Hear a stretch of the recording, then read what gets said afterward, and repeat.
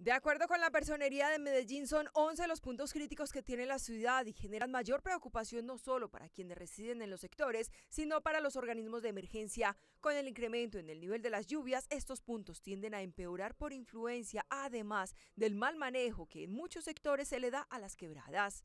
El DAGRED está actuando, está siendo muy diligente, pero usted sabe que en la ciudad, eh, por la topografía que esta maneja, hay muchos movimientos en masa, hay gran cantidad cuando las quebradas se crecen.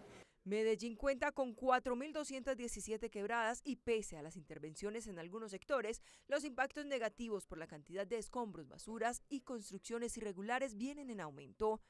La iguana, por ejemplo, ha provocado afectaciones a varios sectores, por eso el ente de control anunció que su papel, además de acompañar, se enfoca en generar sanciones cuando no se acatan las medidas como deben ser o se toman acciones acorde con las necesidades. Ante todo, ustedes saben que la personería eh, sanciona a, estas personas eh, que han dejado, que han dejado como este lapso y no han tomado las medidas necesarias en el momento óptimo.